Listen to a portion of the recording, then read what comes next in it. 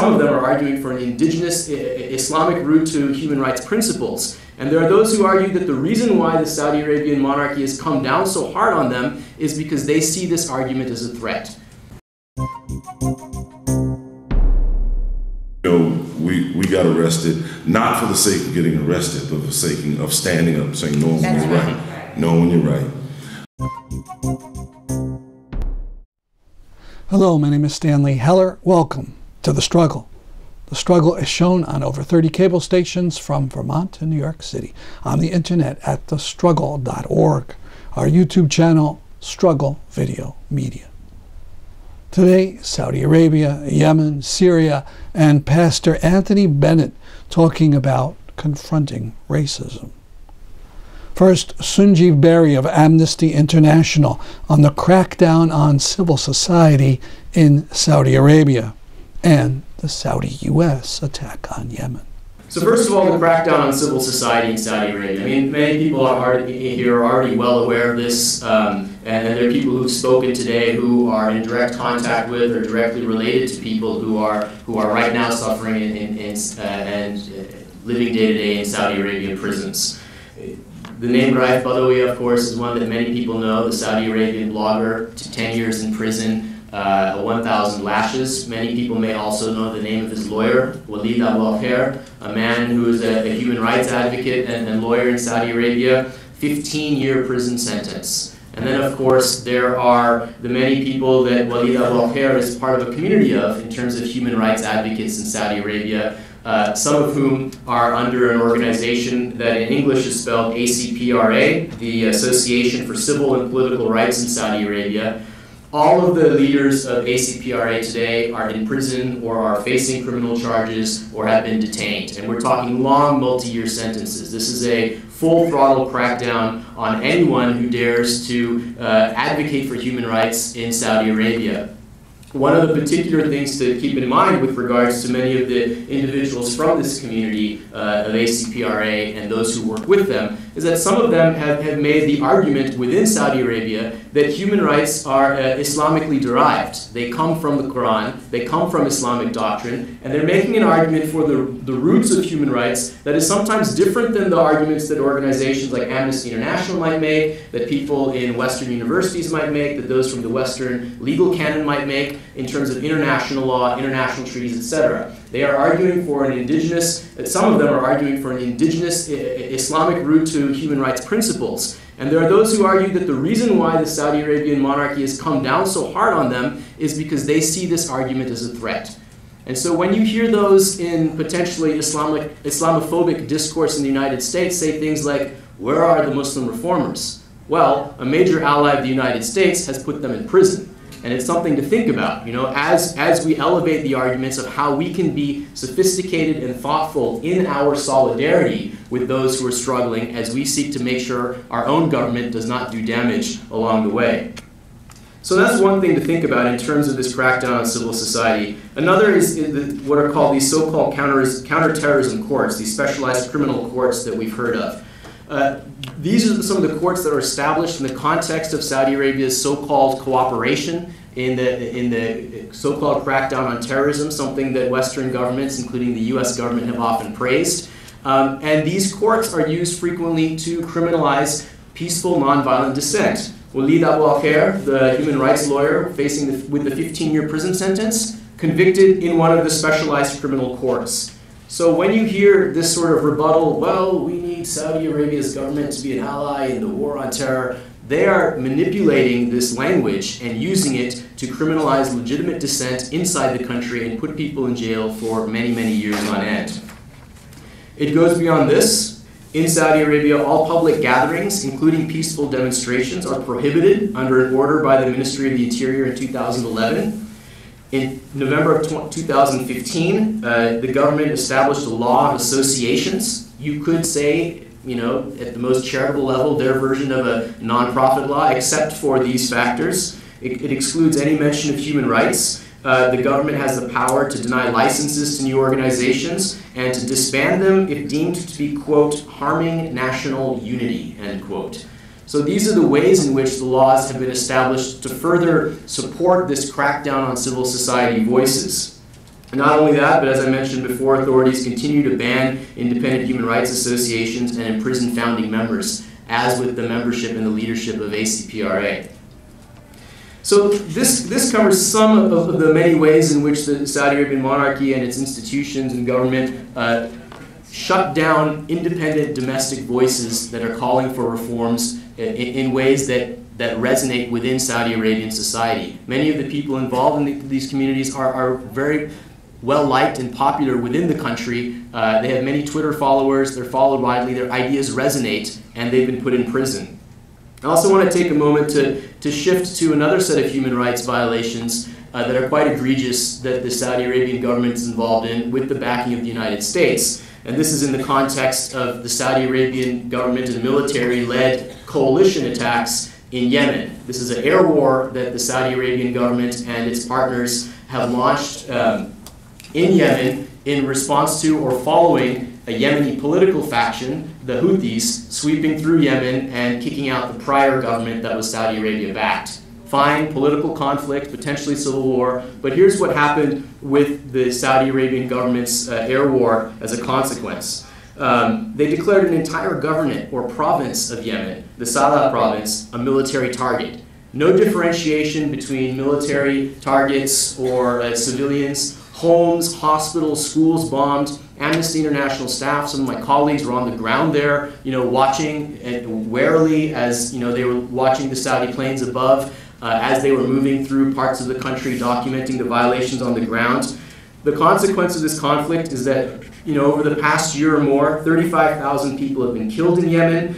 Uh, in less than a year, more than two and a half million people have lost their homes. This is a vast, vast uh, amount of damage and destruction to, to have happened. And, and if it weren't for potentially Western media fatigue and, and, and Western audiences fatigue, we would know so much more about this. Unfortunately, there's so many other tragedies happening right now as well in the context of Syria, et cetera, that most people don't even know. But here's the, here's the crazy thing. Even as the Saudi Arabian uh, government and its Gulf, Gulf national allies across the Gulf states have been waging this war, the United States, under the Obama administration, approved a $1.2 billion bomb sale to the Saudi Arabian government with thousands of bombs and warheads that would essentially replenish their stocks. This is happening right now. These the, the, the arms sale has been approved, the manufacturing process is beginning, and while it will take some time for those bombs to get to Saudi Arabia, the reality is that when a government is engaged in this kind of full throttle bombardment uh, of a neighboring country, and it knows that the United States is going to replenish its stocks, there, there is no pressure to, to change the behavior of the government in terms of the mass bombardment. It's a green light for whatever the claims are of the US government otherwise. The, the coalition's airstrikes have killed and injured thousands of civilians, uh, destroyed civilian homes and infrastructure, uh, including hospitals, schools, markets, and factories. Uh, and they even targeted civilian humanitarian assistance vehicles, and of course made a humanitarian, uh, dire humanitarian situation in Yemen even worse. And one of the interesting things is that there is there's no hiding the, the U.S. government's role in this. I just went yesterday to state.gov, the U.S. State Department's website. I searched Saudi Arabia, comma arms sale, and then here comes the statement I was looking for from March 1st, just a couple days ago, where the U.S. government clearly states Saudi Arabia is the United States' largest foreign military sales customer, with nearly $100 billion in active foreign military sales cases. In November 2015, the U.S. approved a possible foreign military sale case to Saudi Arabia uh, for an estimated cost of $1.29 billion. This is just in broad daylight. You know, this is not something that's being hidden. This is, this is being made easily public. So given all of this, and I want to leave some time for questions, um, you know, what have critics in, in, uh, attempted to do? First, um, members of Congress at different points in time have, been, have, have rallied in different ways to challenge various aspects of Saudi Arabian human rights. Of course, they haven't done so in the context of the arms sale. Very few have done so in the context of the arms sales, which shows to you what happens when American military sales and profits are on the table. But in 2014, some 50 members of Congress, through uh, lobbying and, and, grassroots pressure and a, a, coalition of organizations, sent a letter to President Obama uh, urging him to stand up for a whole range of human rights issues when he visited Riyadh, Saudi Arabia in 2014. Eight senators signed a letter to King Salman uh, regarding Raif Badawi and Walid Abu al-Khair's cases. Another 67 members of Congress signed a letter last year to King Salman.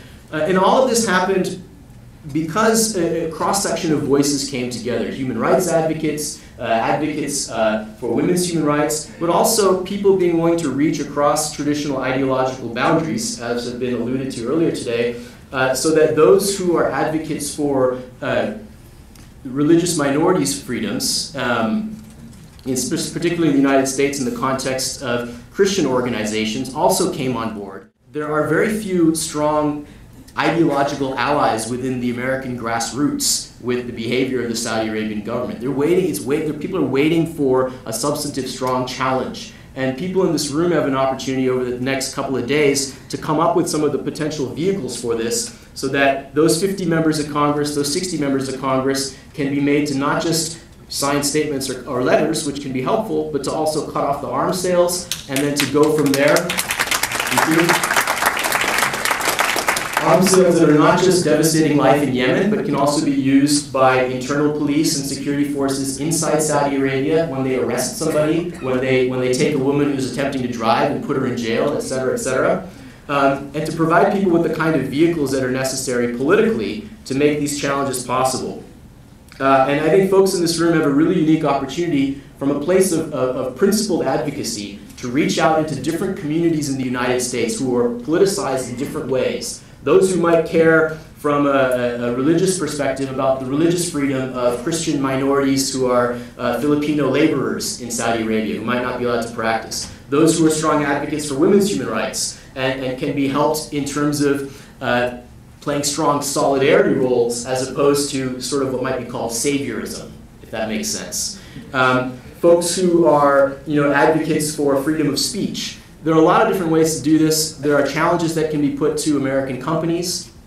Are you enforcing Saudi human rights violations in your workplace? Are you handing over Wi-Fi data in Saudi Arabia? Are you, um, as Sharat has already spoken to, you know, are, are you enforcing unjust labor laws? Do you care if uh, Saudi women are able to drive the cars that you're selling in Saudi Arabia or not? There are a whole host of opportunities to be brainstormed. And once these opportunities are brought forward, uh, my personal feeling is that there will be an eruption of political solidarity and support that will challenge the status quo. And I think folks here in this room have a unique opportunity to play in, in getting that started. So thank you.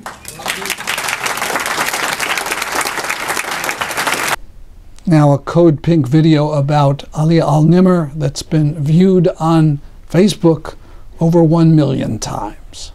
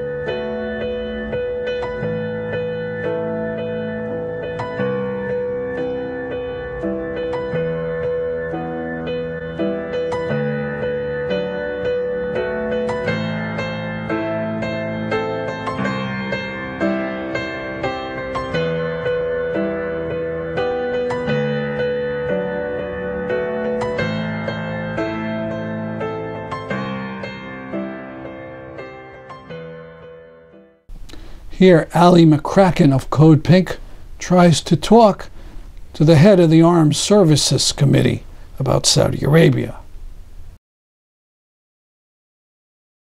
I'm wondering, can you tell us more about why the U.S. is sending billions of dollars to the present regime in Saudi Arabia? I didn't know we were. Yeah, we, we've sold $90 billion worth of weapons to the Saudi monarchy over the last sell a variety of things to a variety of people around the country. Right, but Congress has to approve these deals, and Saudi Arabia is ex exporting extremist ideology throughout the world and represses its own citizens and is committing war crimes in Yemen. Hmm. So you're okay with all those things? That's too bad, sir. It's time to get out of bed with Saudi Arabia, Congressman.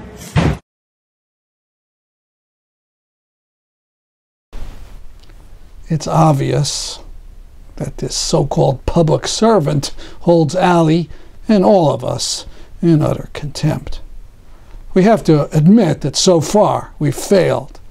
We failed to help the victims of the Saudi royals, despite all the disruptions and the videos and the petitions and the critical articles in the New York Times and the statements by Senator Murphy. Obama went to Saudi Arabia and visited only the king. He didn't talk to the Al Nimr family or any of the families of the dissidents rotting in the Saudi jails. He issued no public statements other than, than the usual boilerplate about undying U.S. friendship for the hereditary tyrants. We have much work to do.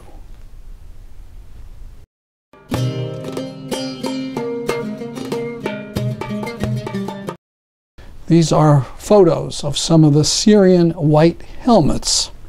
They're volunteers who dig people out of the rubble after bombings and shellings. By their reckoning, they've helped some 40,000 people. Five of them were killed by Assad forces on April 26th. Then, a few days later, this hospital in Aleppo was bombed by Assad or Putin airplanes. 55 dead, including the last pediatrician in the liberated areas of Aleppo. The same week, the reporter Seymour Hersh was on Democracy Now! claiming that charges by Syrians that Assad forces had killed 1,300 by sarin gas some years ago was a blood lie. There's a petition campaign going around asking Democracy Now! to allow Syrians to be interviewed on the program to answer this astounding defense of Assad. You can see links to it on our website, thestruggle.org.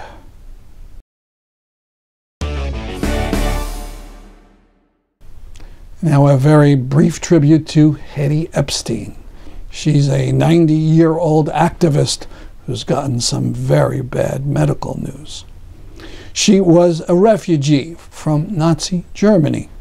In her 80s, she started helping Palestinians try to go on some of the boats to Gaza. She also took part in protests over Ferguson and was arrested in her hometown of St. Louis. There's a Facebook page in her honor. Please visit it. Now, Anthony Bennett, senior pastor at Mount Aery Baptist Church in Bridgeport, Connecticut. He spoke with Bishop John Selders in a revolutionary conversation confronting racism. Here he talks about an incredible example of white privilege. Last year we had a conversation right after the uh, massacre, right after the massacre. And uh, we held uh, a conversation. And because I'm in Bridgeport, um, I don't get too many white partners. Because generally, white people don't want to talk about race. They want me to talk about it. Mm-hmm. And, and I'm tired of talking about it because it ain't my problem. Right. I'm the collateral damage Hello. Um, of, of white of white people's issues, and I've got to wrestle with it. And so when we had this conversation, and so UCC, I mean UC, you you, I'm thankful.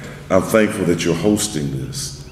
Um, on that night, one uh, wonderful woman, Martha Council, was a retired mathematical teacher uh, in Bridgeport Public School System. You know her, you know her. Yeah, she and her husband, uh, Ralph Council, wonderful educators. Uh, They, they, they really should be here. They could really share stories. We had a little bit more than 100, 125 people. Uh, Bishop and Sister Selders were there. And we were talking about race.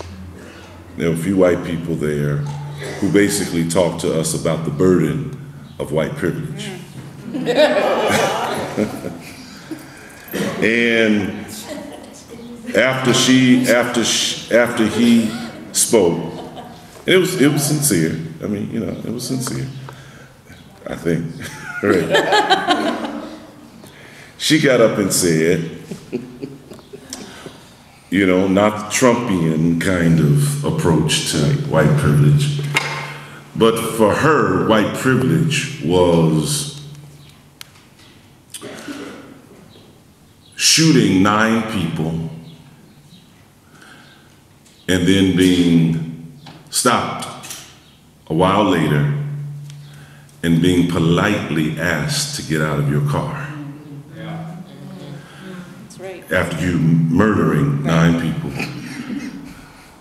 And then the highlight of privilege, she said, this woman who's from South Carolina, this woman who has experience every day of dealing with white privilege. She said, white privilege is being escorted on your way to the police station and being able to stop by Burger King for a burger.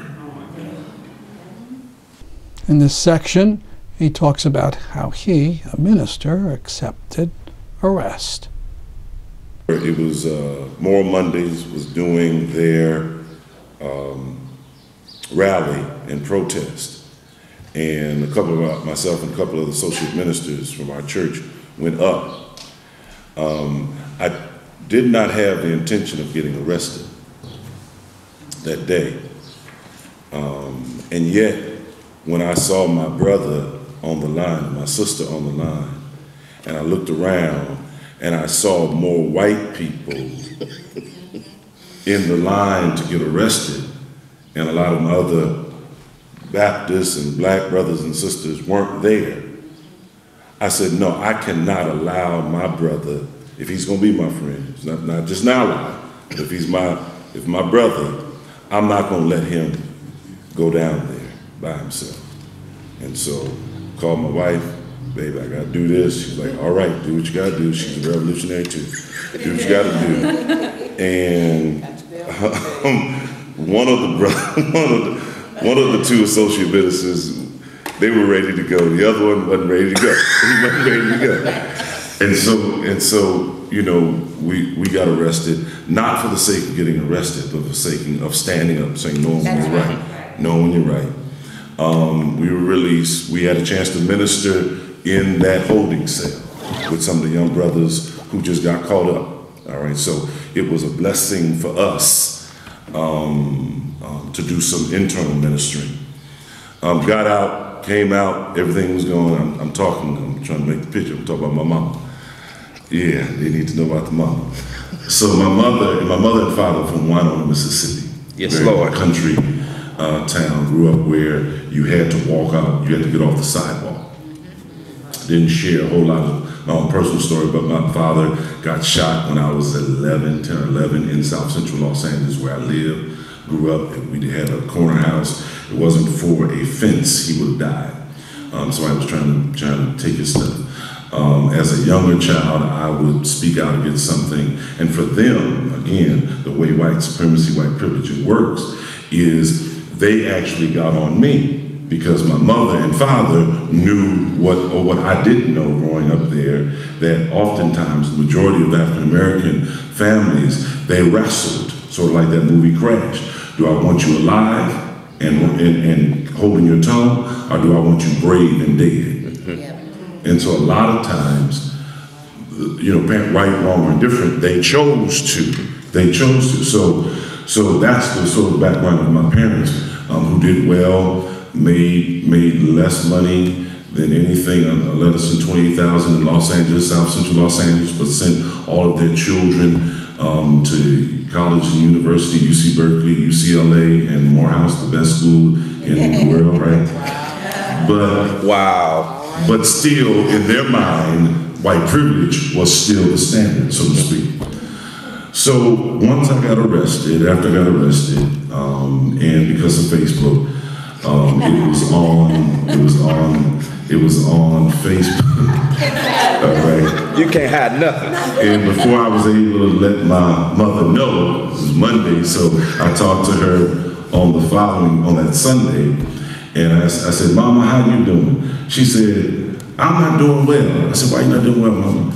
Because my son got arrested and and again, we got arrested a few years ago at UCL at, Yale for their, their union workers. You got arrested again. She said your daddy wanted you to work in the community, but he had no intention of you getting arrested. I said, Mama, yeah, but uh, we are all right. She said, No, I'm not all right. I'm not all right. You shouldn't do it. You know, Southern draw, so you can imagine Southern draw. She said, Well, you know, what, what you gonna tell your congregation? You got arrested. You supposed to be a preacher. I said, Mama, the congregation gave me a standing ovation because they understood. She said, "What you gonna tell? What you gonna tell your your son? Your son is in school." I said, "Mama, they were studying. This is all in seriously in the conversation on my way up to preach in Waterbury that, that Sunday." I said, I said, "Mama, his school was studying protest and civil rights, and and so he was able to show a clipping of his daddy, you know, getting arrested for positive." And then she said, and they said, well, well, I said, you a preacher. She said, you a preacher. You're not supposed to, you supposed to be civil. You're not supposed to. I said, Mama, Reverend Dr. King, he was a preacher. He got arrested. And she said, that didn't make no difference. I knew I couldn't win. I was done. I couldn't win. I couldn't win. I couldn't win. All right. Fast forward the next week, the situation happened in Fergus. I mean, in, uh, in Char- uh, Charleston.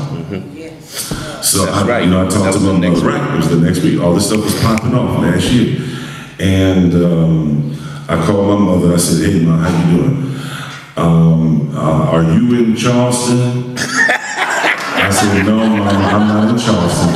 She said, I saw somebody climbing up the flag, to take down the flag. I didn't know if that was you or not. See his whole talk in our YouTube section on the website, The Struggle. That's our program for today. I'm Stanley Heller for The Struggle.